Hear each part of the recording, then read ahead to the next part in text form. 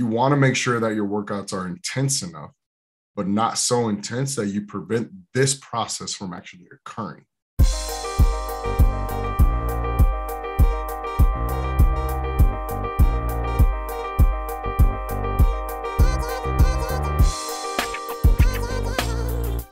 What's up YouTube and welcome to Skullbellz TV. In this video, how your muscles metabolize amino acids. If you're on a fitness journey that involves building muscle, Bernardo Castellanos is here to break it down in layman's terms for people like me. He's going to walk us through mTOR, muscle protein synthesis, and protein to help you understand your body on a more intracellular level. Before we start, if you're not subscribed to the show, you can go ahead and do that. Hit that bell button after you do so that you don't miss upcoming content around meal prep, aesthetics, bodybuilding, nutrition. Smash that like button while you're at it if you would too, please. Last thing, share this someone at the gym and help spread the knowledge. Ladies and gentlemen, Bernardo Castellanos. mTOR is the, I guess you could say the precursor to protein synthesis. Basically, it's the signal it's the little chemical signal, it's an amino acid actually, that's the signal to say, hey, we have enough amino acids in the cell, um, so let's initiate protein synthesis. But it's a little bit more complex than that.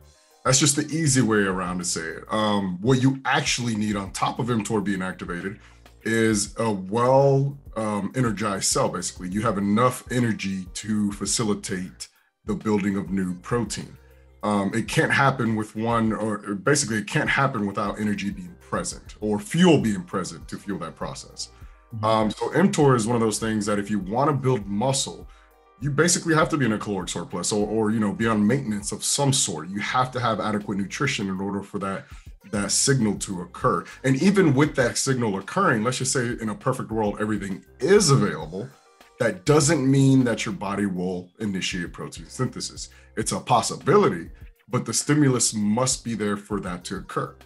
Okay. So mTOR comes before muscle protein synthesis. It has to be there for muscle protein synthesis to take place, but it doesn't necessarily that muscle protein synthesis will take place. Am I understanding that correctly? Exactly. All mTOR is is say all it says is, hey, all systems go. Let's get to work. That's okay. all it is. So that's a problem if we don't have any food or any uh, protein and amino acids, more specifically, to yep. be able to use and put to work. Yep. So basically, um, mTOR will sense that there's enough amino acids for the ribosomes in the cell to say, "Cool, let's do this. Let's build these these new this new protein." But it's basically, "Hey, cool, we can build it, but do we have the currency to do so?"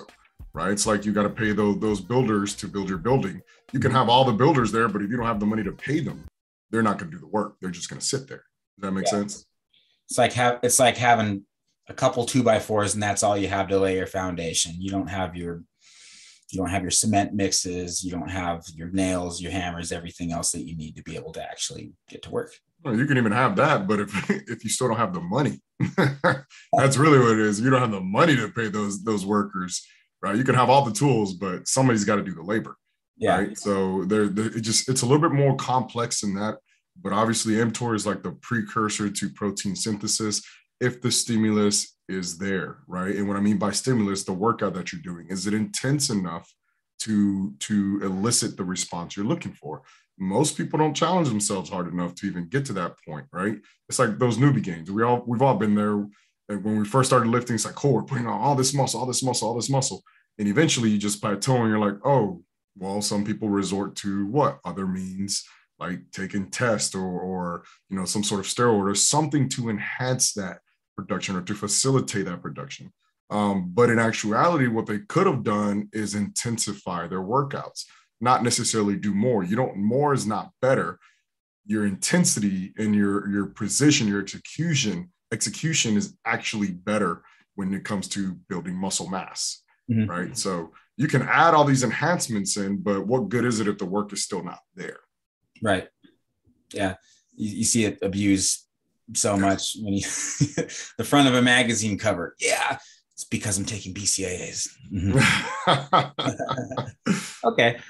Well, uh, so do we want mTOR to be activated while we're working out or is that something to where like it should like no we need to wait and then have and then have mtor activated um like after when we're actually able to recover and build muscle so it's almost um and i don't want to say it's completely impossible to activate at the same time you're working out but the main job of mtor if obviously if we're in a in a catabolic state where we're just breaking down you know energy to produce ATP. We're breaking down fuel, sorry, fuel to produce ATP. Um, mTOR cannot be present at that time because you're in a catabolic state. mTOR is more anabolic. So if the goal is protein synthesis, it's not going to occur as you're working out. The reason it doesn't occur is because you're burning through so much fuel at the same time. So if fuel is present for the work, it's not going to be present to build new protein.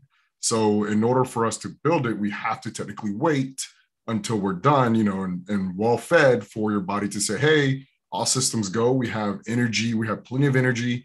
Um, let's do whatever metabolic processes we need to do in order to achieve whatever it is we need to achieve. Right. So it, you can't have one thing. Um, you can't have mTOR working at the same time as AMPK, which is the other chemical signal that tells the cell to open up and receive all the incoming fuel right? All the glucose, right? It's a, it's also a little bit more complex than that, but that is what AMPK essentially is. So if you've heard of ATP, mm-hmm. ATP, is, AMPK is ATP broken down into its complete signal, into its complete or simplest form, basically. So it goes ATP, ADP, then you have AMP, and then AMPK. And AMPK is just a chemical signal to open up the cells.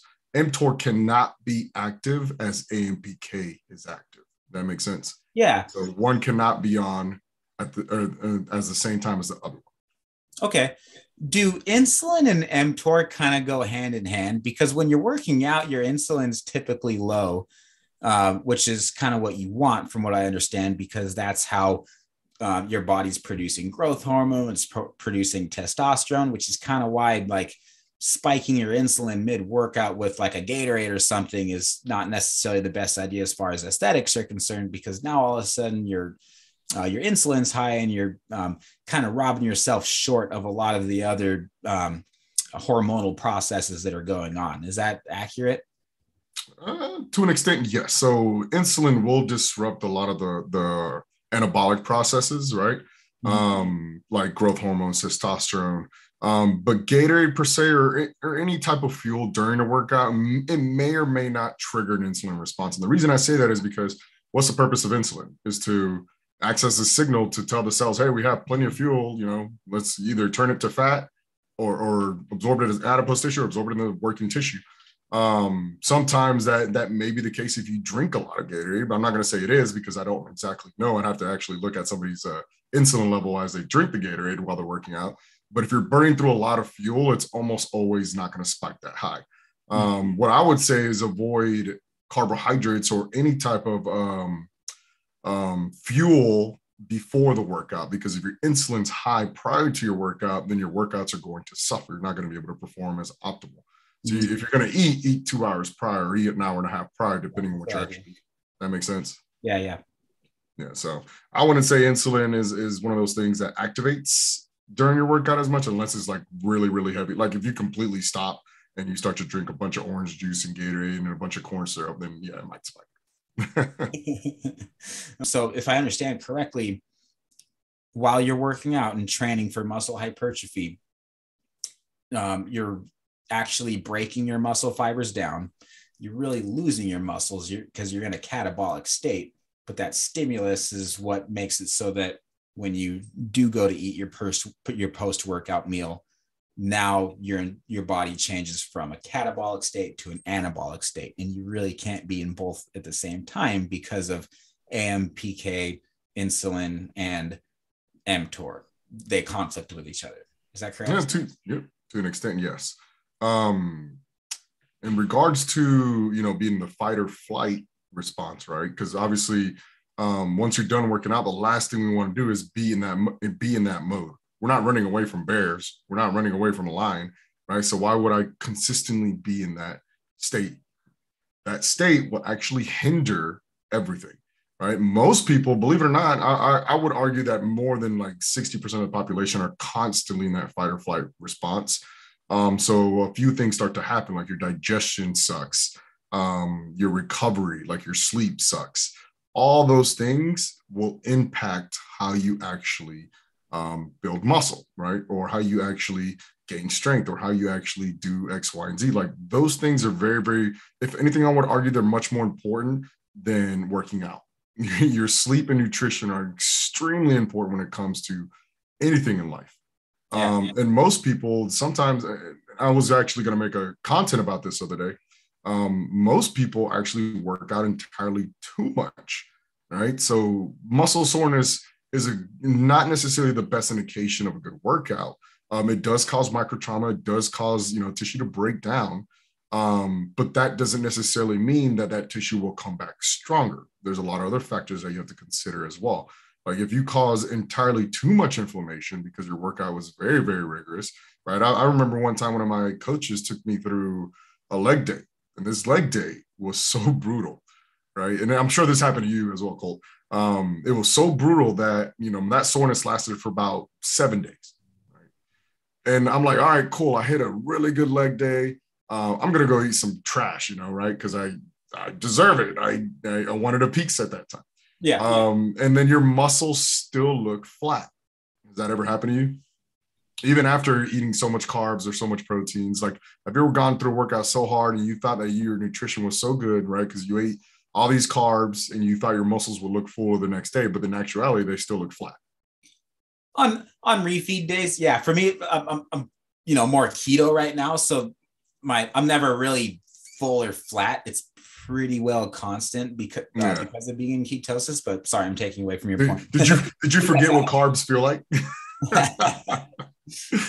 so it might be different for you, but for me, um, basically what that tells me is that that there's so much inflammation going on in that area that the cells have decided to almost kind of terminate themselves um, or decided to block certain things from coming into that cell nutrition being a big one right so remember if mtor it wants to activate and can only activate with proper nutrition um, and those types of workouts are so brutal that it causes so much inflammation that the cell will refuses to open up because there's so much inflammation, and so much damage, it, it, refuses to open up to let incoming glucose or glucose come in so that it can refuel and and do whatever metabolic processes we need to do. Um, that's that's the result of that, right? No fuel comes in there. I stay looking flat, so mTOR can't activate because my workouts were so brutal.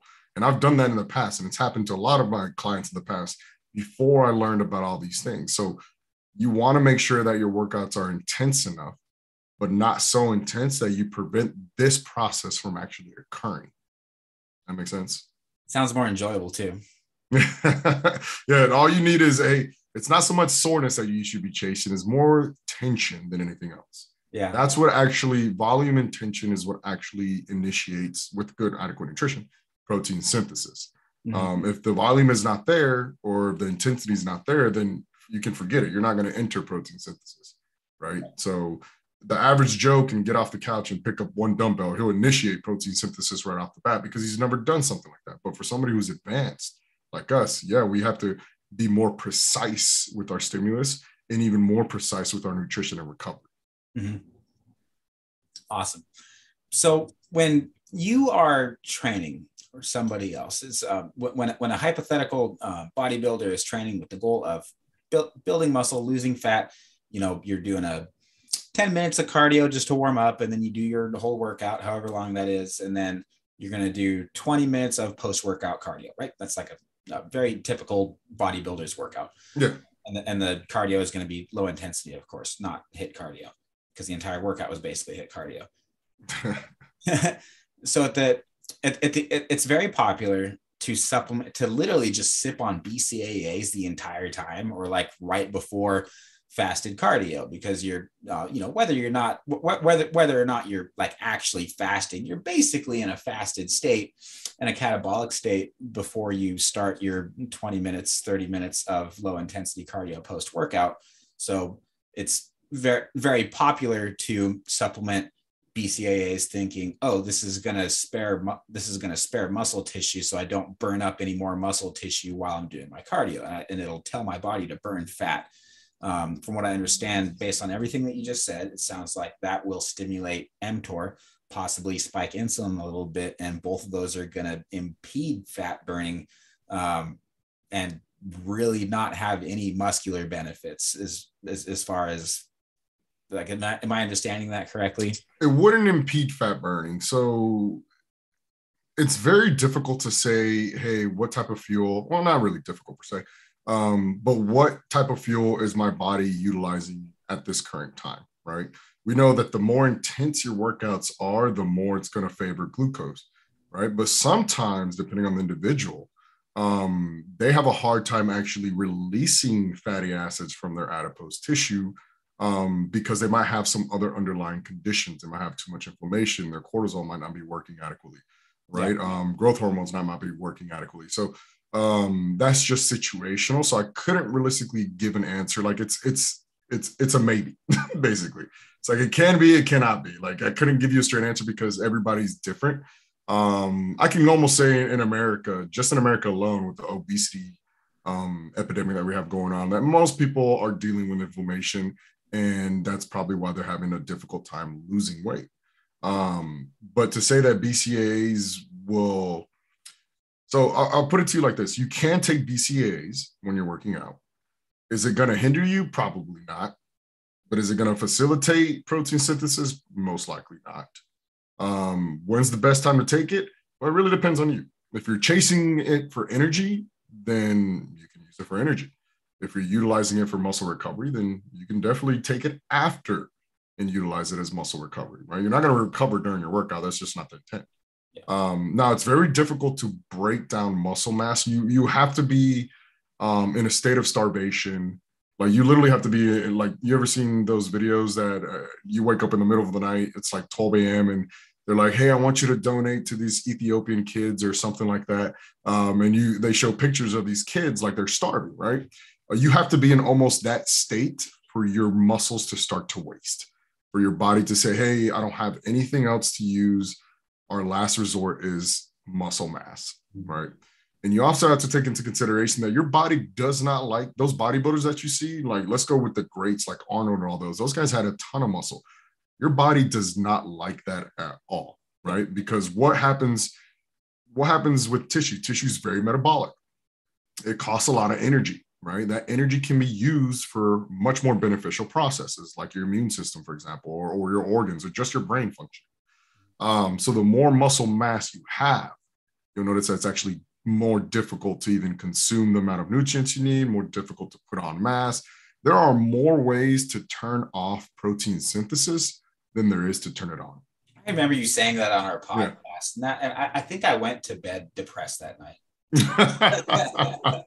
I mean, that's the the sad truth, right? Because um, you have to look at it from a survival perspective. Your body's only job is to survive, right? And and the stresses that you put on it and the reason it builds muscle mass is because it's a survival mechanism. It's not for aesthetics. It's definitely not for aesthetics. Um, it's just for your body to say hey you know those that that 225 pound bench press felt really really hard. Um, i don't like how it felt and i want to make it easier. So let's start let's start doing a little bit more protein synthesis and put on more muscle mass so we can absorb more of that force. That's why you get stronger. It's not for any other reason but if you immediately, as soon as you stop, yeah, you'll start to lose strength after you know a few weeks to months. Um, but your body will instantly bring it back if, if, as long as you start that stimulus again, because the cells are already there. Are there motor units firing? Probably not. But will they fire a lot faster after you start working out? Yes, they will. Um, so don't be afraid to lose muscle mass. Be afraid that your nutrition is not on point because that's where you truly reap the benefits. Yeah, yeah. Wow. My mind is blown. Thank you for that. Uh, okay. Last question. The difference between BCAAs that are like usually twi- dosed twice as high in leucine as they are valine and isoleucine, um, and the full blown EAA spectrum, which is, I believe, nine that are essential, 11 yep. essential.